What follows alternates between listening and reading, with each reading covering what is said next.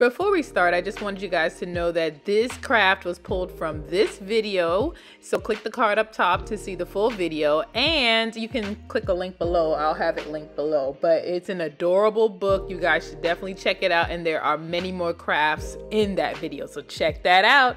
Thanks. Enjoy the video.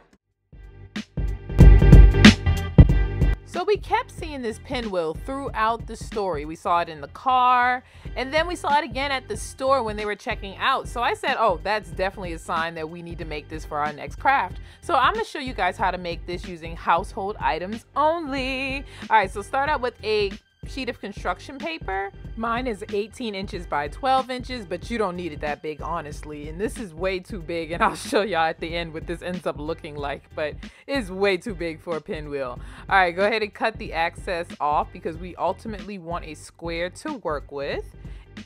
I want you to fold it one more time so we have four folded lines to work with.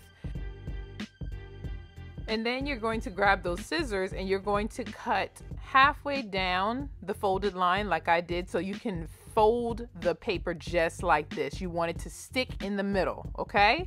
So you're gonna do that for each fold. You're gonna cut on the fold just like this, halfway down. And this is the look you want before we start folding. Now, I would have rather used some a glue stick for this, but I'm gonna just use the Elmer's glue because that's right next to me.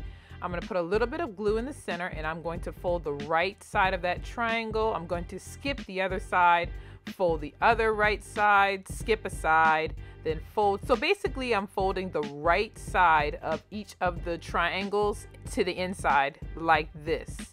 And you're going to make them all meet in the center because that's going to be our pivot point and let it sit until it dries. Now the bad thing about liquid glue is it's going to take a minute to dry. That's why I'm still holding it. But if you want it to be faster, I would use hot glue or glue stick. So I'm going to show you really quickly one more time uh, what that looks like with this beautiful marbled printed sheet that we did in this craft. You can see this craft on my channel as well. Just click the card up top. But this is how we printed this paper. It was super simple and super fun. So I was going to try to use tape, but tape does not work because this is actually cardstock. So I had to use a hot glue gun.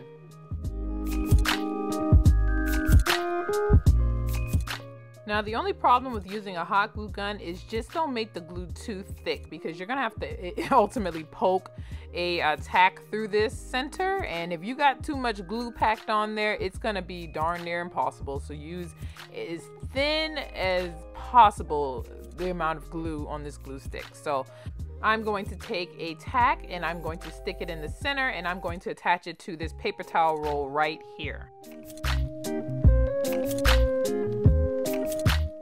Now I wish you could just take the tack and stick it into the paper towel roll like this, but it's not enough leverage to hold it. So what you're gonna need is a paper clip. And I took a paper clip and I unfolded it and I basically made a L shape and I fished it through paper towel roll and I used that as my leverage. And then I took the hot glue gun and I put some glue all around it so it doesn't move and it stays in place. And then I take the pinwheel and I'm opening up the hole a little bit with my tack. And when I feel that it is big enough, I'm going to slide it on my paper clip and it will be able to spin just like this. And to keep the pinwheel in place, I'm going to take a little piece of an eraser and I am going to put it on my paper clip just like this. I'm not going to push it down too tight, but just leave enough room so that it can spin freely. And you are done. That is how you make a pinwheel.